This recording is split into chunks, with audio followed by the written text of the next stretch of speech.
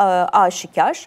Şöyle ki e, emekli maaşları e, biliyorsunuz e, SGK ve Bağkur emeklilerine ilişkin e, maaşlar %37,57 enflasyon 6 aylık enflasyon oranında artacaktı. Ama %5 ek zam yapıldı ve onun üzerine bir de en düşük emekli maaşının 10 bin lira olacağı açıklandı.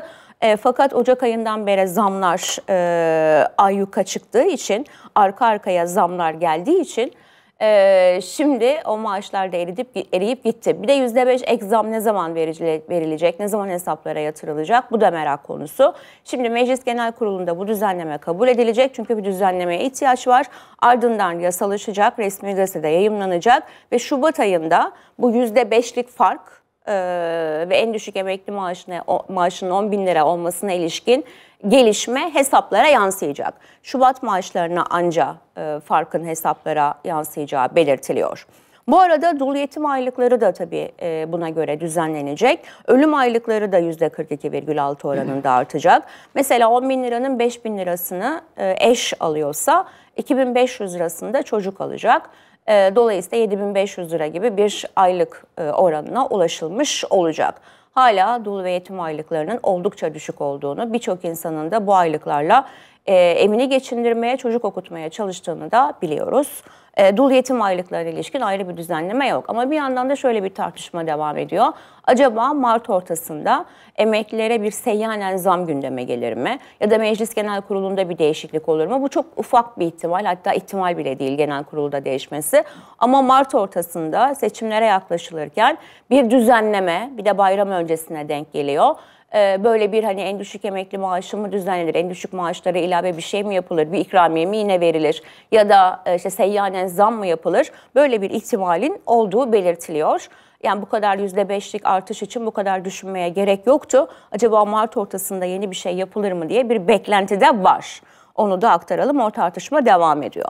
Bu arada sosyal güvenlik e, uzmanı biliyorsunuz Özgür Erdursun bizim de yayınlarımıza katılıyor ve emeklilerin sorularına yanıtlıyor. Çok da e, yakından takip ettiğinizi biliyoruz. Kendisinin sosyal medya hesabından yayınladığı bir Bağkur hesabı var.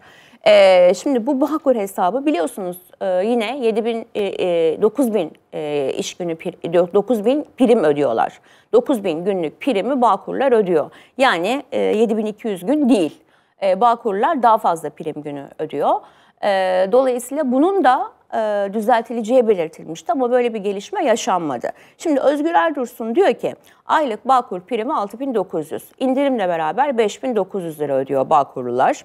Ödeme e, 9000 iş günü için 1 milyon 770 bin liraya ulaşıyor bugünkü hesaba göre, bugünkü rakamlara göre. Emekli aylığı da alabilecekleri emekli aylığı da 10 bin lira. E, bu parayı biriktirdiğinizde ortaya çıkan e, meblağla siz aylık 60 bin liraya kadar faiz geliri elde edebiliyorsunuz.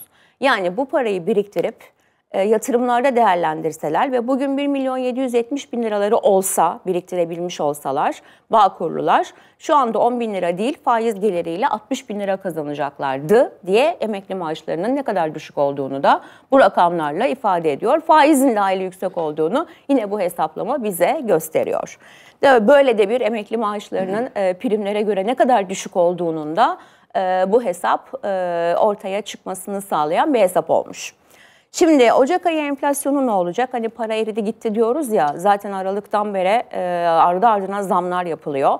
Ocak ayında bir zam deryası içinde bulduk kendimizi. Zam yağmuru altındayız. Şimdi Ocak ayı daha bitmeden e, Şubat ayı enflasyonunu düşünmeye başladık. E, TÜFE'nin tüketici fiyat endeksinin Ocak'ta %9 civarında çıkması bekleniyor. Hatta çift taneyi görebilir diyor bazı uzmanlar. E, bu da enflasyonu 68-69 bandına çıkartacak ve Mayıs'tan sonra da biz %70 ve üzerine Mayıs itibariyle görmüş olacağız enflasyonda. Sonra baz etkisiyle düşüş başlayacak. Baz etkisiyle de düşüş başlayacak. Şimdi Ocak ayı enflasyonu neden yüksek çıkacak? Niye Şubat ayı enflasyonundan endişe ediyoruz? E, çünkü Ocak ayı zamları e, bizi korkutuyor. O kur 30 lirayı aştı. Akaryakıt e, ta ÖTV ayarlamasına gidildi. Ardından da e, motorin, motorine özellikle ciddi zam geldi ve motorin fiyatları 40 liraya aştı. Bazı illerde 41 liranın üzerine çıktı. Ulaşıma ardı ardına taksi, e, toplu taşımaya yüklü zamlar geldi. E, ÖTV kaynaklı alkollü içkiler ve tütünde ÖTV kaynaklı zamlar gördük. gördük. E, süte zam geldi. Kasım'da indirimler vardı. Aralık ayında devam eden indirimler vardı. O indirimler bitti. Bir de üzerine zamlı etiketler birbiri ardına değişmeye başladı. Dolayısıyla bütün bu gelişmeleri ard ardına koyduğunuzda gıda fiyatları zaten yüksek düşmüyor artmaya devam ediyor. Ocak ayı enflasyonu bizi korkutuyor. Hatta Şubat ayı enflasyonundan da ciddi endişe ediyoruz. Ne oluyor?